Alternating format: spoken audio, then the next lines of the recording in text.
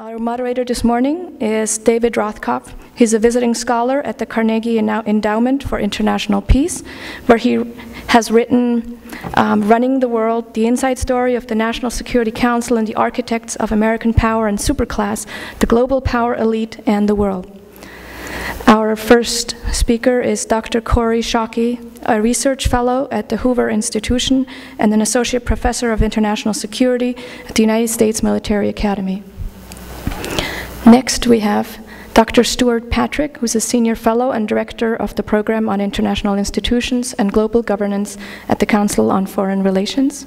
And finally, Parag Khanna is a senior research fellow at the New America Foundation and the author of A Second World Empires and Influence in a New Global Order.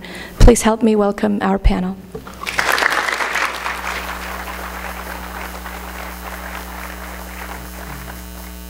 Thank you very much. Good morning, everybody. We've got a great panel. Uh, it covers virtually every issue that there is in the world today.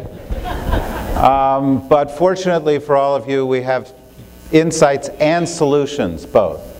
So take notes, and by the time we're done, you should be in, in great shape to just go home. Uh, uh, in any event, We've, we've, got, we've got great folks, and what our plan is, is we're going to go through a couple of rounds of questions and then open it up to you as soon as possible so that we can really cover what's on your mind as early as possible. So please think about what you want to ask uh, and get involved as early as you possibly can. Um, there's sort of two parts to the title of this discussion. One is new rules and new system. The other is America's role within the context of that world and I'm going to be very literal minded and I'm going to take it in just that way.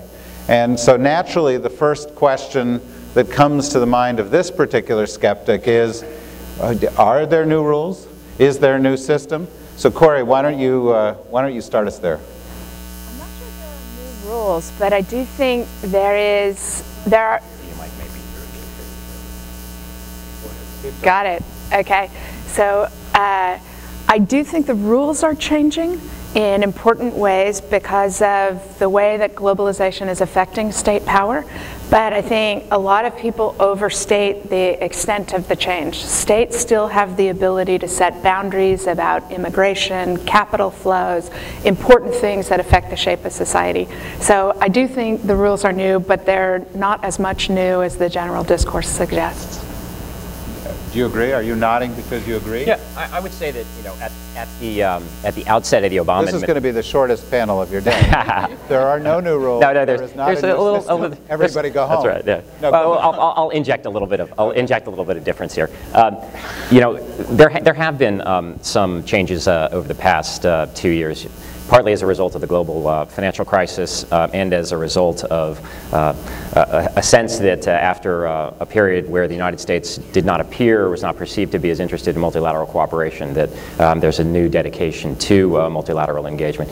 Um, we've seen um, We've seen a number of changes uh, in, in, in, rules governing the global financial system in particular, uh, um, creations of uh, new regulatory mechanisms, et cetera, um, changes in, uh, in the nature of uh, what the International Monetary Fund does, in, um, in the balance of power within some of the international financial institutions. However, I would agree by and large with, uh, with Kori that um, the fundamental reform that a lot of people expected um, at, at the outset of the Obama administration, when people sort of thought of a new Bretton Woods moment or a new present at the creation moment, uh, we haven't really seen that. And I think there are a number of different reasons for that. And one of them um, is that um, it's just very diff difficult uh, when you have an existing order and institutions to sort of rejigger uh, the sort of sense of influence or what the basic ground rules are.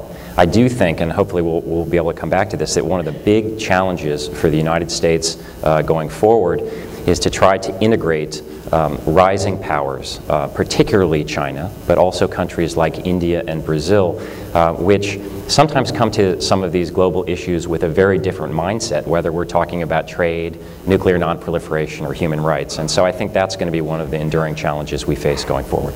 Well, let, let me, let me follow up on these two questions before I go on to uh.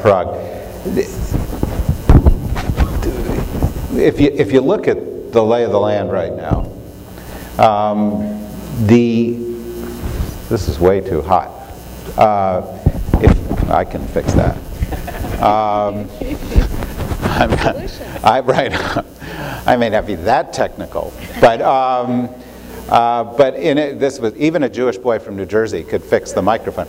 Um, uh, in, in, any event, the uh, if you look at the lay of the land, we're not in the bipolar world of the Cold War. We're not really in the unipolar world of the, the, the maybe 15 or 20 years after. We're into something new. It's multipolar. Uh, we're not in the world of the G7. We're moving into the world of the G20, at least. Um, we're not in the world where the center of intellectual or economic gravity is over the Atlantic. It's now over the Pacific. Uh, we're in a world in which nuclear capability is spreading to new places. We're in a world in which asymmetric conflict give leverage to new places. So a lot of things are different. And I'm just, you know, there's a tug of war always between inertia and what's new. Are we actually just it's, it's not that we don't have new rules and new systems, but we're on the verge of some new rules and some new systems. Do we think that there are major changes that are going to stand in contrast to what we've seen? So let's just go back to you guys, and then I'm going to come to Parag, because I know that you think it's all actually very, very old rules, but I will get to that in one second. I agree with your judgment that it, it's messy and it's difficult to see the pattern. And I also agree with Stewart's point that, that the rules are, are breaking down to some extent. I mean, that the predictability of state interaction. But again, I don't mean to I don't mean to be a one-trick pony, but it does seem to me that the rules were always overstated. I mean, if you look at at the management of the NATO alliance, presumably the place where American hegemony was most predominant, this was always difficult. It was always a struggle. It's you know the European uh, pipeline agreement with the Soviets in the 1970s. Like, it's difficult. We overstate a golden age in which rules governed things and, and things worked predictably and easily.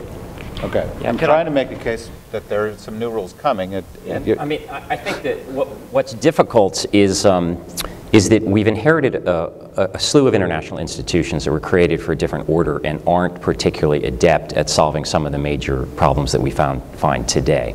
Um, so that we have NATO, but I think part of the and NATO is working on its new strategic concept now, and you know people joke at the Pentagon, you know, NATO keep the dream alive because it, it's really hard to know what you know. We're not waiting. Known for its great. Yeah, great, great sense of humor, exactly. Uh, but but it's uh, you, you, know what is its rationale uh, in in the world world ahead. And during the Cold War, at least there was some solidarity between the United States and its allies, for instance, on what uh, NATO's role is.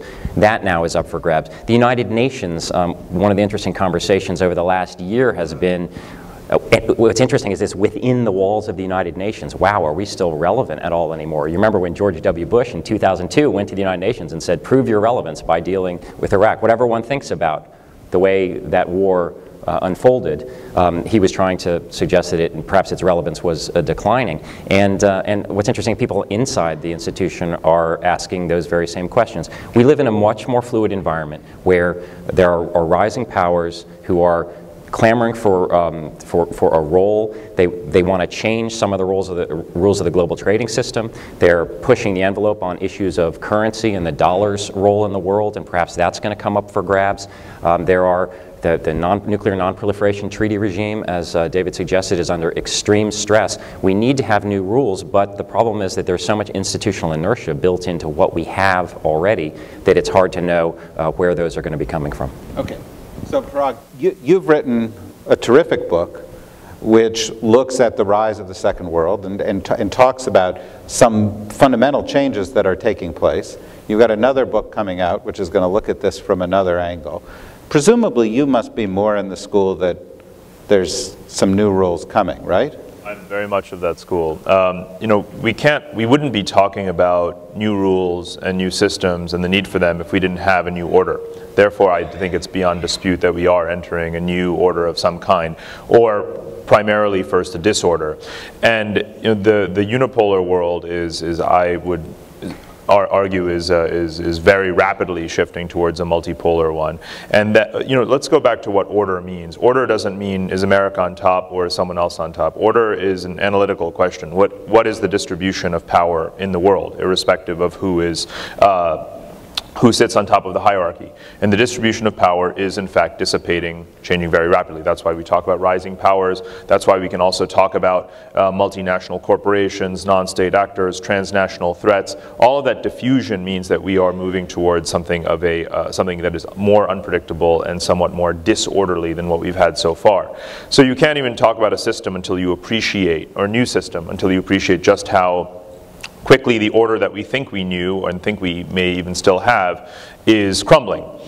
Uh, and, that, and then think about what new system might come in the pipeline. The system that we seem to be talking about is this multilateral system, uh, the United Nations and associated institutions, or if you're really up, up to the moment, then you'll talk about the G8 or the G20. Well, even that doesn't quite capture this new set of powers, new set of players, that even the non-state actors that are out there. So you can't really talk about that G20 system as if it somehow re reflects this new order. It doesn't. It doesn't take into account all the actors, it doesn't take into account all the kinds of power, it doesn't even take into account all the different issues that are on the agenda. And then you get to rules for that system which have to be negotiated in light of all of those new players. But a lot of them aren't even at the table. So we're just at the very first phase of a very long period of renegotiating uh, where the order lies, who has the power, what kind of system can possibly capture it, and what kinds of rules that system may have. It's day one, and the answer isn't the G20. Well, but let's, let's follow that up a second, because there have been periods in history where the system has changed, but the rules haven't. And typically what happens in those systems is disequilibrium, tumult, conflict, the 30 years war, World War I, World War II. These things happened because powers rose up, new conflicts came, and there was no system for resolving disputes effectively or providing stability on an ongoing basis. Do you think we're in one of those periods? I think, I think we are very much in one of those periods, and I, I think that it's best likened to the Middle Ages, a time approximately a thousand years ago. That was actually a period of history where we in, in the Western world I think of it very much as synonymous with the Dark Ages in Europe, but it was actually a time when China, India, the Arab Islamic world all sort of flourished. Uh, and they were, each could call their own shots on the regional level. And that's kind of what the world actually looks like today. Uh, we can't really boss each other around as much as we thought, as much as America has thought that it could, uh, because you look today at, at the rise of China and India and, uh, and, and powers in the Middle East and so forth. So I think it's actually a very useful analogy. That world then is multipolar or apolar. And I think that that's a, a, much more accurate characterization of where we are right now. And yes, therefore, it means that we don't, again, have a, a Security Council which represents those power centers, and therefore they all come together and, and negotiate uh, their differences. Uh, things are very much handled ad hoc and according to cultural principles and, and, and local rules uh, that, that may not derive from international law. I know you want to jump in, but can I pose a question uh, even, even before you do? It, you know, we, we talk about the G20, and you know, that's a step forward. We're two years into that, and so far the G20 can't really agree to anything meaningful. The treasury ministers, finance ministers just met. They sort of said, well, you know, it's kind of the Rodney King approach to world finance, which can't we all get along here? Um, and not, you know, any signing up to anything particularly serious. But the G20 only deals, as Parag implied, with economic issues. And when you look at the security structures, a lot of those big players who we talk a lot about rising up, the Chinese, the Indians, some of these others, they don't want to play in that game. NATO struggled to go out of theater into Afghanistan and they don't want to stay there. They want to come back home and Europe can't get together a foreign policy. Isn't there a particular void in this era in terms of security structures? No, I don't think there's a particular void in this era because I think that's always been the case. Um, I think we overestimate the extent to which the United Nations was ever all that helpful in managing all of our problems. I think we overestimate the extent to which NATO was always helpful in managing all of our problems. I mean, if you think about President Eisenhower and John Foster Dulles in 1954 talking about the NATO idea possibly run its course, or the Suez crisis in which we refuse to help two of our allies in a war they're fighting. This is always a lot dicier, and I think one of the risks uh, big intellectuals run in talking about it is, is seeing systemic patterns and thinking institutions affect more than they do. Seems to me there's a lot more continuity in this conversation, even Parag, than your comment suggests um, about the medieval model, because it, it seems to me a state's what has always been true, even in that high watermark of systemic cooperation, the post World War II American age, is that it's always the roll your sleeves up hard work of one government persuading another government what it wants to do on security, on economics, on trade deals. It, the individual adds up to something greater than itself, but the systemic order doesn't remove the responsibility of individual states working and managing their interests. Yeah, I think there's a constant tension throughout history between disequilibrium and equilibrium, and you, you, you, never get to absolute on either side. Sometimes you have a little more equilibrium, and sometimes you have a little more disequilibrium. But Stewart, I want to pose a specific question to you about this. You talked a little bit about the rise of emerging powers. We've seen an example of the new role emerging powers might play recently with Iran, where the Brazilians and the Turks got together and they tried to cut a deal and were immediately, and by immediately I mean within about an hour and 10 minutes, undercut by Washington that was really uncomfortable with you know, a plan B, with an, you know, a diplomatic avenue that didn't go through Washington. Is this you know, a sign of, of, of a, a coming series of problems that we're going to have or a set of issues we've got to grapple with? Yeah, sure, Dave. I think that it is. I think it, what's interesting, if you look, uh, as many of you probably have, at the Obama's, uh, Obama administration's national security strategy that, that, was released this spring, one of the main themes that it has uh, in that document is the importance of integrating rising powers. As uh, they don't use the phrase responsible stakeholders as the Bush administration did for China, but in effect, that's what they're saying. Let's bring these countries into the tent, and therefore they will embrace this sort of Western or established liberal international order that's, that uh, that we've come to take for granted since 1945. I think think what um, uh, the gambit uh, that uh, Turkey and Brazil uh, made showed very quickly the, the United States, the Obama administration, that other countries have their own ideas about, for instance, the, the, the the situations that would, that would require Security Council action, what they would be prepared themselves to, to countenance. Um, and, uh, and I think they were taken by surprise. I think the administration was, was clumsy in this regard in how it handled it, certainly diplomatically clumsy, because uh, they should have probably tried to co- a little bit more to co-opt these two countries. Um, but I think that it's, a, it's uh, in a way, the shape of things to come. I, I would disagree a little bit with Kori in the sense that um, I think there are elements of continuity, yes, but I think that to answer David's question, I think the world does risk being a little bit out of balance, uh, more than a little bit out of balance on the security front. I think that you've seen great adjustments um, with respect to uh, moving from the G8 to the G20. You've seen some uh, adjustment within the international financial institutions, even actually a couple weeks ago in, um, in Korea in terms of readjusting some of the, the weight within uh, the World Bank and the IMF. Um, but in the Security Council, I, th- I, think that it is problematic. It's not necessarily dangerous in the short or even medium term that the Security Council does not reflect the world as it exists today. But the fact that it does not have India and Brazil and arguably uh, Japan and Germany at the same time is problematic when you think historically. I do not think that compared. The, the, Security Council doesn't work very well, and not having those countries in it makes it illegitimate. Right. Well, they it, it, it, it appears as illegitimate. It also may, under, just at a practical level, those countries will not invest in the United Nations in terms of actual resource commitments as much as we would like if they are not inside that body. Now, there is a question, particularly with the big emerging developing countries who want to free ride.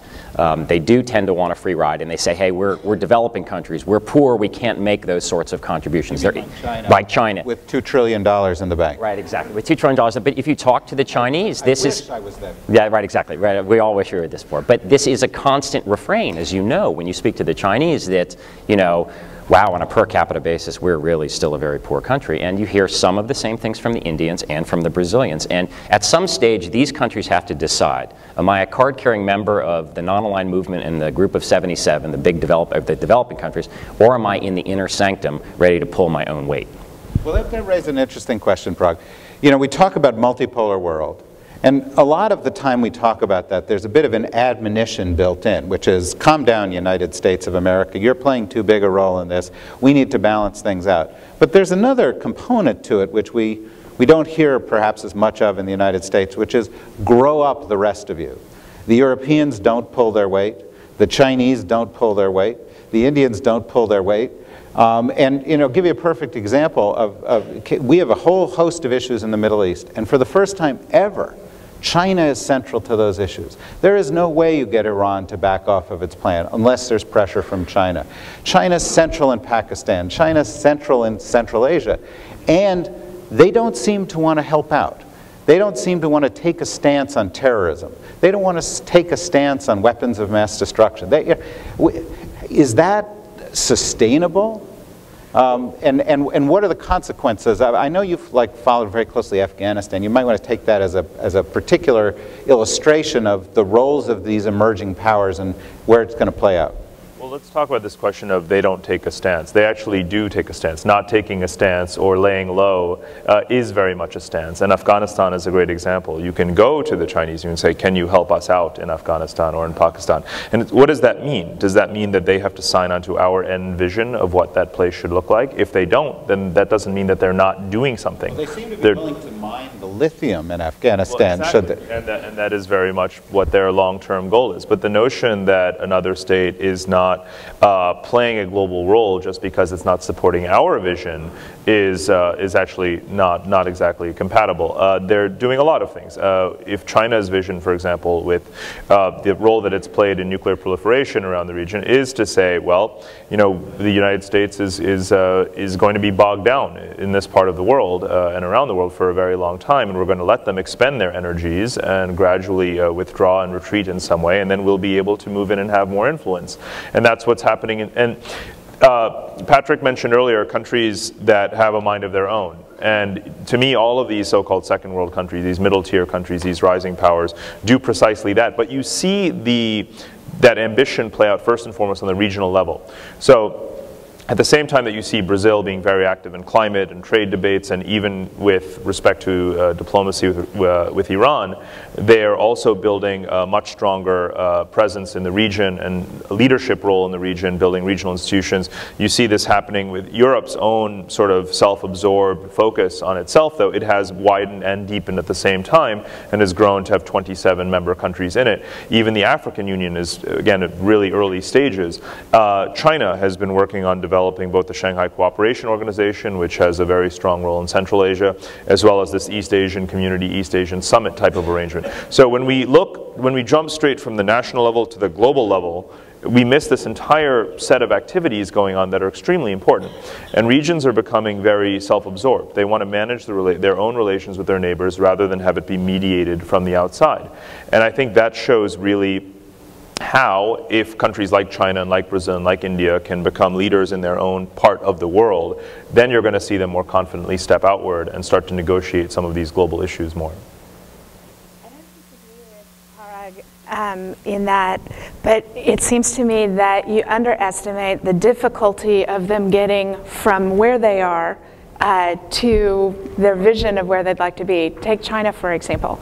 I, I agree with your description. It looks to me like what the Chinese strategy is to free ride on the existing system, allow the United States to expend all of the systemic energy pick off opportunities where you can, cheating on the Iran sanctions, that kind of stuff. Um, and that's a terrific near-term approach. It maximizes their prospects, but it's less clear to me that's a successful long-term approach because if you are not investing in making the world a better place and helping the Afghans through their difficulties, eventually the law of gravity applies to China as it does to us. And if I were advising the Chinese government, I would have them read the history of United Fruit in Honduras and Central America because their basic approach to places they are investing looks a lot like American multinational corporations in the 1890s. And that didn't work out so politically successfully for us as we tried to establish our role in the world. I think there are a lot more difficulties associated with what they're trying to pull off than we sometimes uh, freight them with. Well, let's, let's talk about that. And then I, I do want to open it up to you folks folks, so think about your questions. So I'm going to ask one last round of questions here about America, and then I want to do that. But maybe the Chinese are very canny. In fact, Any country that's grown for 30 or 40 years at 6 or 7% a year and has risen as rapidly as they've written is, is certainly very canny, and they've avoided a lot of pitfalls along the way. One of the things they're best at is figuring just how far they can get in a negotiation without giving anything up. They're, they're, they're really good at that. And one of the ploys that a lot of these countries have been using is, well, let's, you know, it's, it's kind of like that old commercial you remember, you know, let's let Mikey eat it. You know, you know and, and, and they think, well, let's let the United States eat it. You know, let's let the United States take care of solving these problems, carrying the weight on security, doing these kind of things. And that seems like a pretty good strategy because thus far, the United States has stepped up. And terrorism's a global problem, but we were the ones to, you know, that took it upon ourselves, and I think not entirely successfully uh, managed an effort to go after it. Uh, we, you know, we've gone into some regional issues, and, and, and, and we're paying the price for this, which is a huge, you know, what is it, $2.7 billion a week in Afghanistan or whatever it is. We're, we're paying a lot of money to do these things, and they're free riders. How long can that go on? And more importantly, and Stewart, let me turn this to you, how long can we go on playing the role that we've been playing? Or do we have to figure out some new burden sharing calculus? Um, or we're just going to go bust, or, or perhaps more accurately, go more bust than we already are. Well, there's no question that, um, that the domestic political dynamic and domestic fiscal situation in the United States um, would suggest that the grand strategy that we pursue in, in going forward is going to be a little less grand, um, as one of my colleagues, Charlie Kupchan, likes to say. I think that I think, nice of you to give him credit. There we go. Well, I know it's, a, it's rare in this town, but I'm going to do it. But uh, uh, I think that, you know, we, there, there's obviously a commission that's been set up that's going to uh, release its report um, next month on, uh, on uh, presidentially appointed commission on, on how to ensure a more fiscally sustainable future uh, for the United States. But you know, obviously a lot of the election returns that occurred uh, on, uh, on Tuesday were about restoring some sense of uh, financial balance. Um, and I think that some of that. They were about? Uh, well, they were about, they were, yeah. yeah. I mean, I, I, yeah, I, I couldn't make out what they were yeah, about, there, really. There's, a, well, there's it was one an element of, of, uh, of, the Tea Party movement, shall I say. But uh, so I don't want to exaggerate too much on, on reading into exactly what the message of that was. But I think that um, the Congress that we will be facing will be uh, quite attuned to um, issues of uh, federal spending, not least in, uh, in foreign aid spending, uh, and uh, what we call in this town the 150 account, which is basically the international affairs account. I think that people are going to be looking at that, and even the defense budget, uh, notwithstanding the fact that Republicans have traditionally been quite uh, strong proponents of the defense budget is going to have to be looked at. All of that suggests that we are going to be moving uh, not into necessarily an isolationist or total retrenchment mode, but there are going to be con real constraints on what the United States can do. So, you know, the United States, you know, I don't know if you would call it the Vietnam doctrine, uh, or uh, which uh, uh, or the Nixon doctrine, I guess, which, which during the, towards the tail end of the Vietnam War, um, Nixon sort of started looking around to some regional players and allies to maybe pick up a little bit more of the burden. I think we're going to start to see partnerships with India, for instance, on how to bring order to the Indian Ocean and, and, that, and that part of the world, uh, trying to look at different regional anchors where we can find them and where we are pretty confident they'll do things that we'd like to do um, uh, to try to pick up some of the slack. Uh, again, I don't see isol true isolationism, but certainly a major sense amongst the American public that we're exhausted.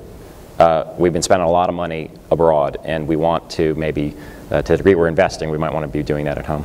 Well, let's take one specific example from this week, and then we're going to go to you guys for questions. Parag, the president, you know, is doing what people do after they've had a rough few weeks, road trip you know. Um, and, and so, you know, he's going to go to Korea and he's going to go to Indonesia and he's going to go to Japan and then he's going to go to India.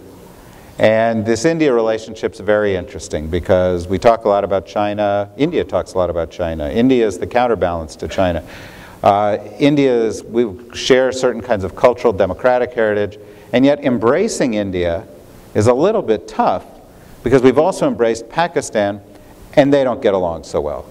Uh, and so, you know, the, the, what, he's facing a conundrum that seems to me to be illustrative of a whole family of conundrums that are associated with what we've been talking about here. And I was just wondering what you think is how that's going to play out. And the most fundamental of those conundrums is us having to realize that, uh, in following on, on what Patrick said, it's not about the U.S. needing to find regional anchors to carry weight for it. Uh, it's really about those countries rising and deciding what they want to do and what role they want to play, and hopefully uh, there's some synergy there. But we're not really able to compel them as much. During the period when the United States viewed India as this very important counterbalance to uh, China, uh, emerging in the region, uh, India really wasn't looking at China in that way. Uh, they were actually trying to boost trade uh, and actually having all of these summits with China where they would declare a multipolar world is coming and China and India together are going to uh, usher in that era. So it was not exactly the message that America wanted to hear. Now things have changed a little bit and India wants to be much more of a naval power straddling the Indian Ocean. Exactly.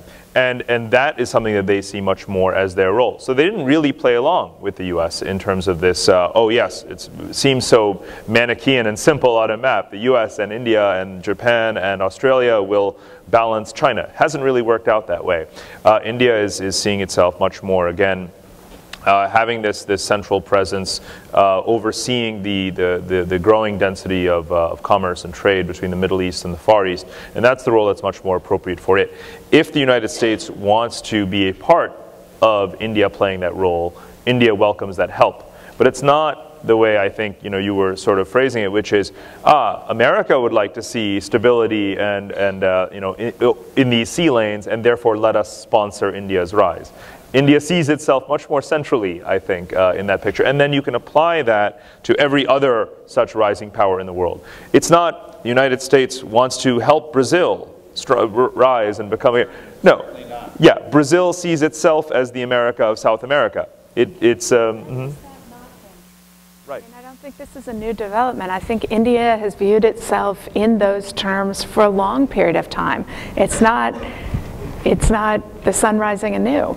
No, um, where, if, where the tension comes is what should their agenda be? What should their priorities be? Should they sign on to the IAEA uh, you know, uh, uh, sanctions on Iran or not? Should they, should they stop exporting refined petroleum to Iran? If they don't see it in their interest to do that, the, they won't. The point, the point is, the countries have always viewed themselves that way.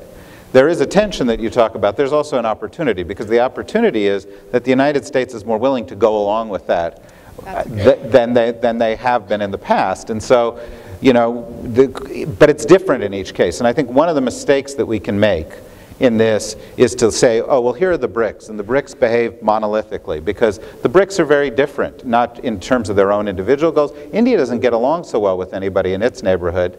Brazil does, but frankly views its neighborhood as a ghetto and wants to play on the international stage. Russia has a whole different set of views. China has a whole different set of views. So all these countries pull in different directions. Anyway, are you standing because you have a lower back trouble? Um, or because you've got a question? All right.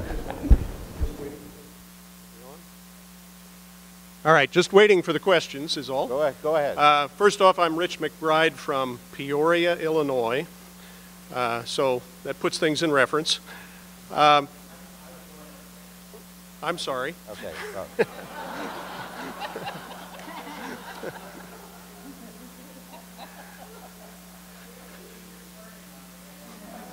Go on, go on. You hate the heartland of America, obviously.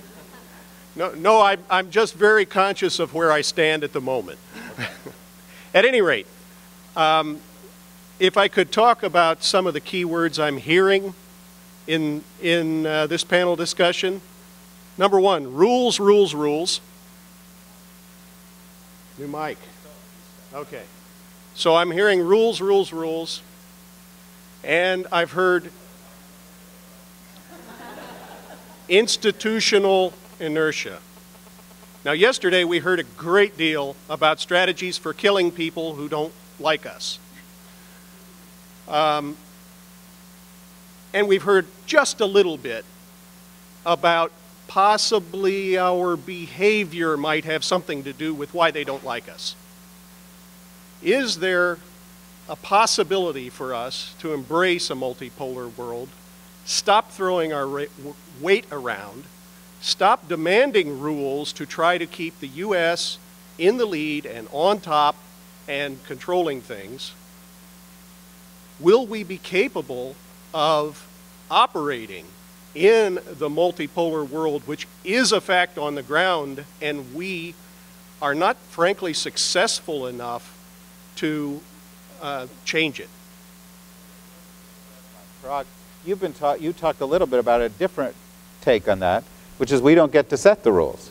So maybe sometimes rules preserve the interests of others. How about uh, um, following up in that direction?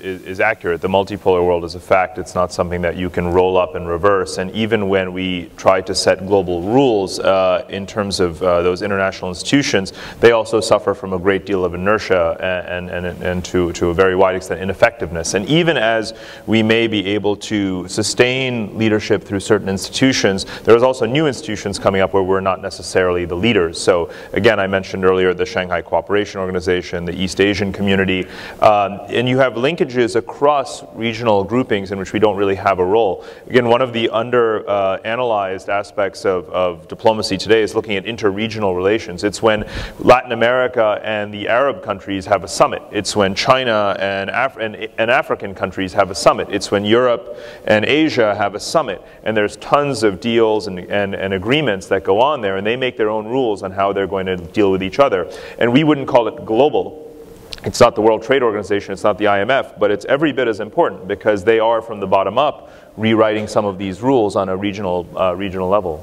Well, there's another set of issues here, and Stewart or, or Kori, either one of you address it, but I, you know, I, I sort of do believe we are sort of at that present at the creation 2.0 moment simply because we have two kinds of institutions in this world, you know, dysfunctional ones or ineffective ones.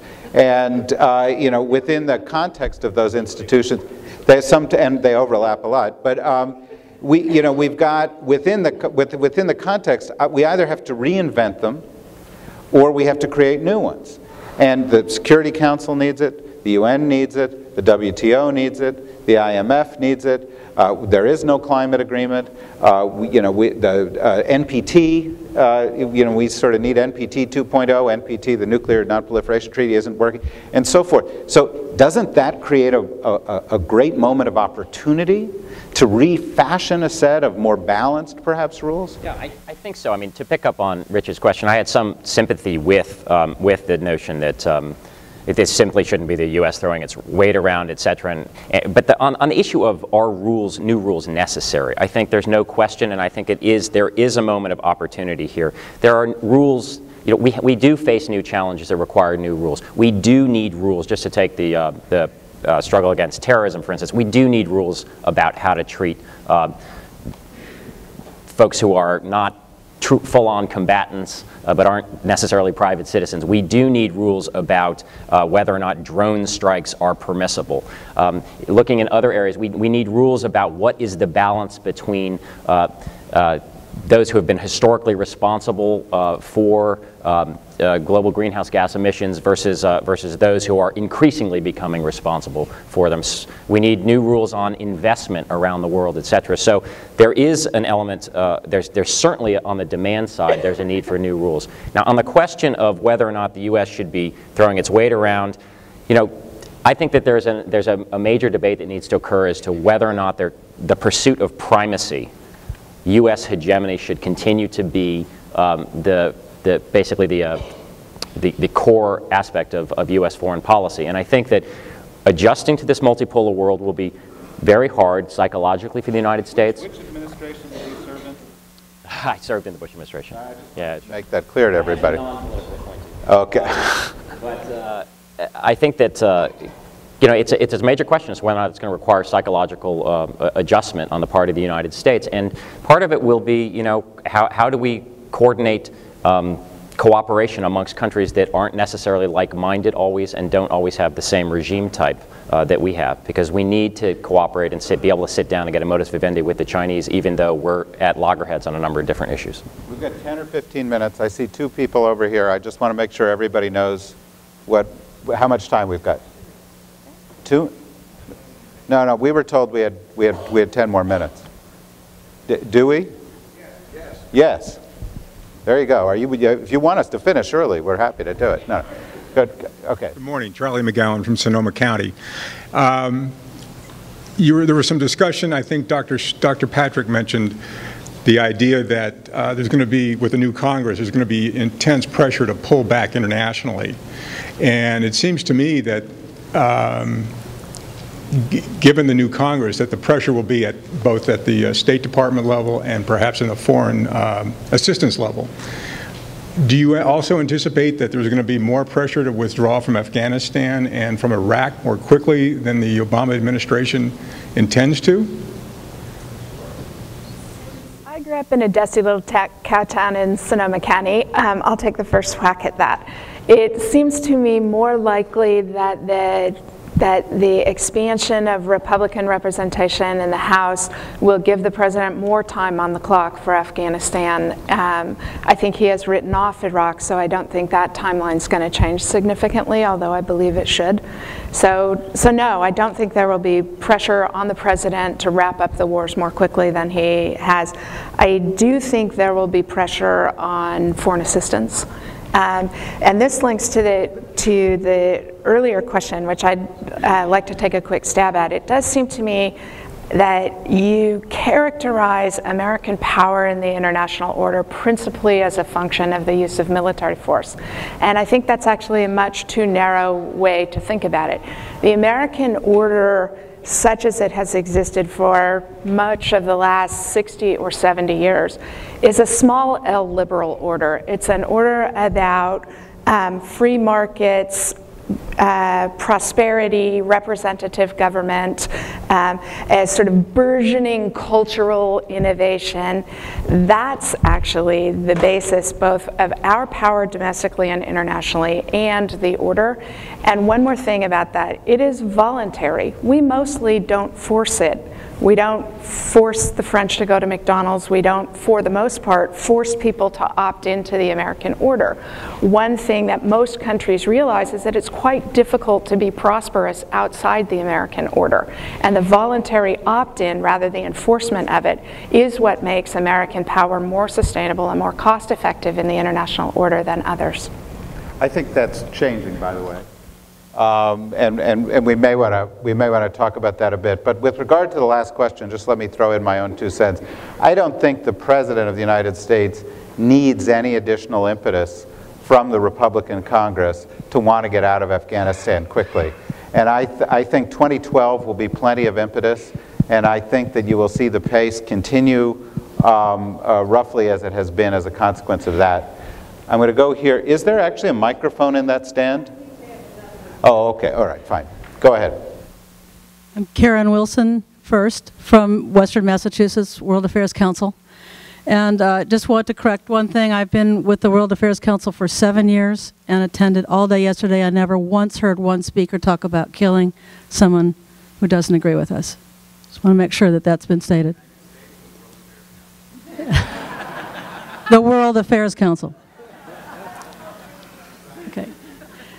All right, now I got a tough question for the four of you, and I'm going to make you do this. We've been challenged to come up with a two-year program of structured debate on the six most important issues of national security. Would you please put those in order for us? What? In order. What are the top, uh, wait a minute, I get my question. What are the top six the top six issues of national security in order because this important group has the ability to take this to our country. Pick two. Uh, energy security, um, uh, financial stability. Pick two. Nuclear proliferation and um, climate change. Managing rising powers and You can't, you can't, pick two other ones. I said, I said energy security and financial stability. I said uh, nuclear proliferation and um, climate change. Managing rising powers and cost effectiveness of our strategies. All right. And in terms of importance of those, in terms of domestic importance, it's going to be economic stability, and we're going to view foreign policy through the lens of its impact on our economy for the next couple of years more than any other single factor. So you should take that as a lens.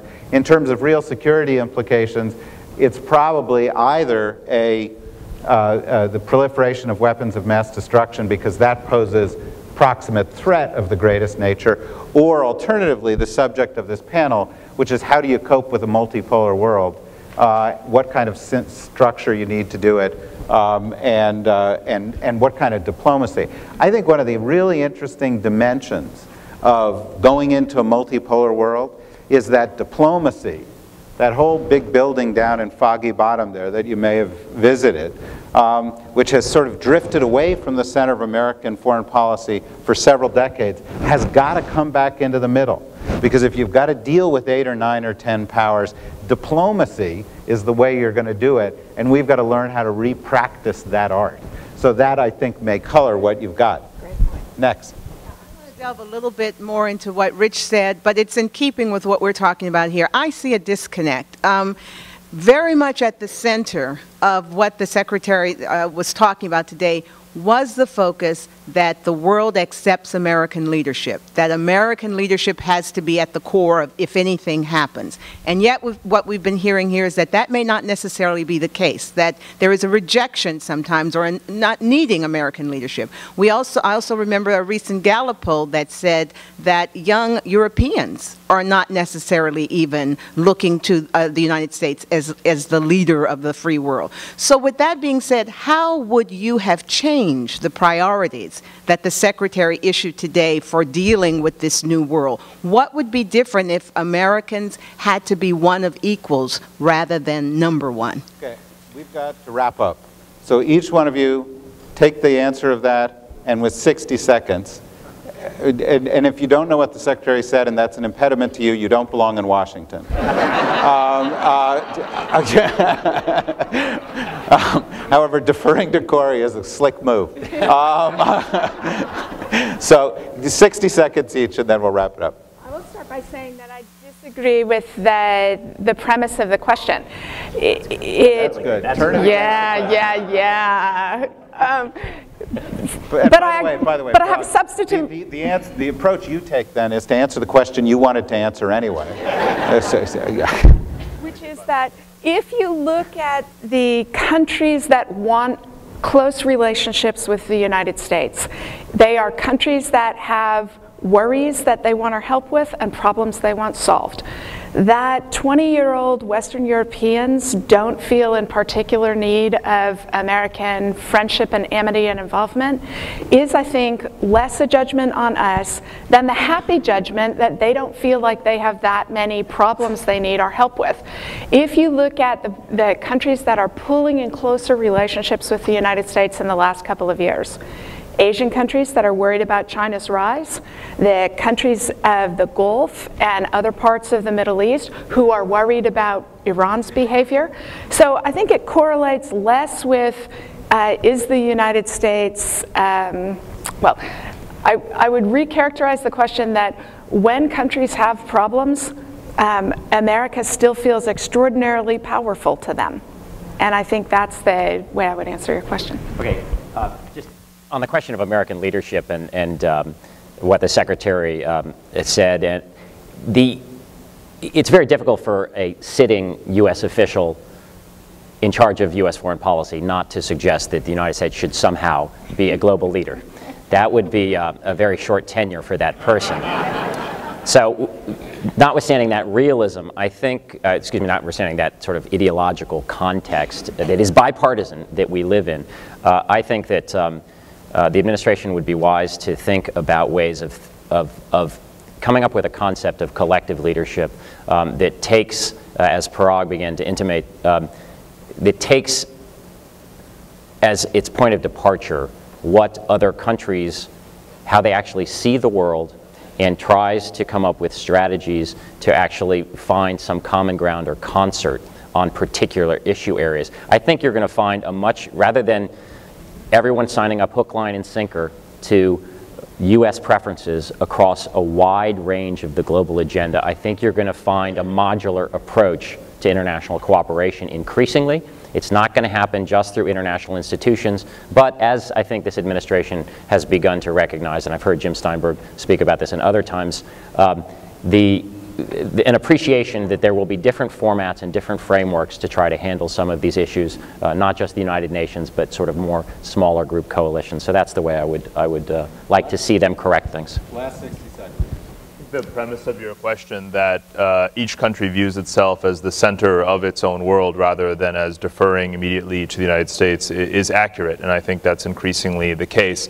Um, their first priority is not necessarily to have the best relations with the United States, but to gain the maximum advantage from whatever relations they do have uh, with the United States for their own benefit. And the corollary to that is uh, what I call multi-alignment. Uh, because if the world is as you describe it, which is that uh, powers see themselves as relatively equal no one above the others, that means that they are going to, uh, to multi-align. They will have, get some benefits from the United States, get whatever they can from the Europeans, deal as well with the Chinese and so forth. And these may be contradictory and very fluid sorts of relationships, but that's exactly what we're seeing emerging uh, out of, uh, if you analyze the foreign policies of uh, countries like Brazil or India uh, or Russia, you see this uh, playing all sides as much as possible because they know that they can get away with it and that whatever the United States can do to punish them them is not sufficient to make them uh, change this uh, multi-alignment behavior. At the end of the day, it's going to be this fluid environment which uh, we can't really assume that alliances are so sacrosanct. Uh, the, the difference between the word alliance and dalliance is just one letter. on, on, that, on, that, on that note, let me conclude by saying this. We, we posed a question about whether there's a new system and a new set of rules. And I think while there was some disagreement about the nature of the system and some disagreement about the nature of the rules, we are clearly in a period of transition. We are clearly in a period of substantial change. The old approaches of the United States the old approaches of great powers no longer apply. The old formulas don't apply. The old institutions need to be changed. And what is exciting, except Kori disagrees with that, but, um, it, but, but I was about to offer a compliment to you and everybody else, so keep quiet. Um, the, the, the, and the, the, the way that we are going to cope with those changes is with new thinking and not the same old people saying the same old stuff. And you guys, with all of your World Affairs Councils, have a great opportunity in getting new voices like these guys and listening to those new voices because they're the ones who are going to be the architects of these changes, or in Kori's case, the architects of this lack of change. Uh, but, in any, but, but in any event, that's the future, and that's why listening to a panel like this is so interesting. Thanks very much for taking the time.